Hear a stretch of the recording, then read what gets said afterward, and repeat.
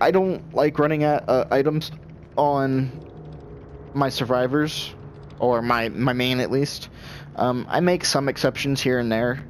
Um, I may start bringing keys into game because of the endgame collapse. I think keys are probably going to be the most beneficial thing to have right now with the endgame collapse.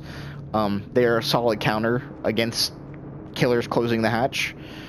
Um,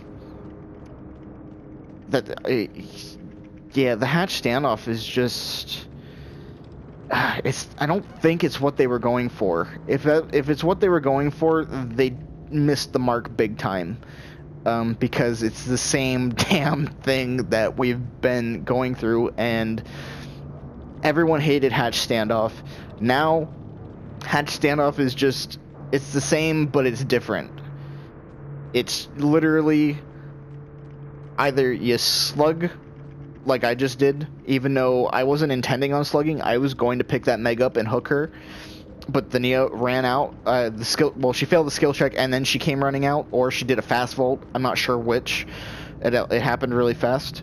Um, I won't really know until playback, but you either slug the survivor and hope that the survivor you're slugging doesn't crawl to hatch or find hatch while crawling, or you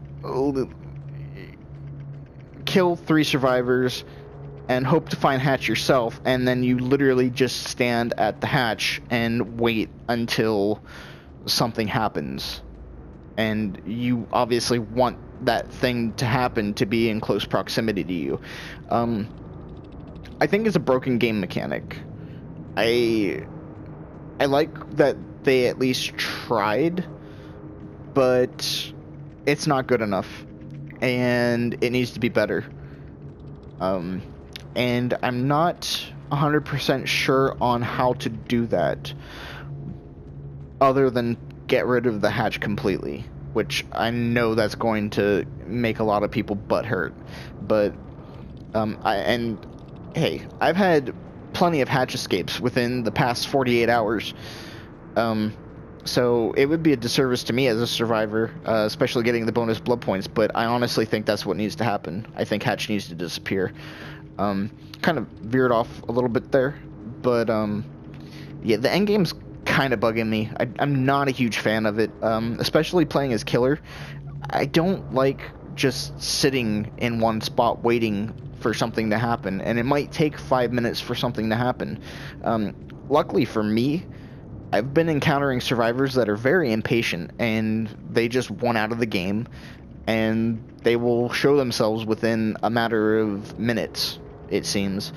So I'm considering myself lucky in that regard, but if and I'm assuming this is going to be the case in higher ranks, I'm almost sure that there's going to be some overly immersed survivors that are just going to stay in and farm as many points as they possibly can to optimize their points uh, because they know that the killer isn't going to be moving from the location in which they're at, which would be Hatch.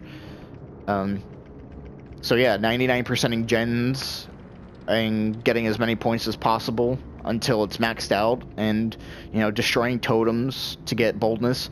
I think that's going to be something that you see more frequently, and that's going to make for a very boring game. And they're going to need to reevaluate things if they want to have better quality in this game because the quality of life I think is going to drop drastically if they uh, keep endgame the way it is because it's not good.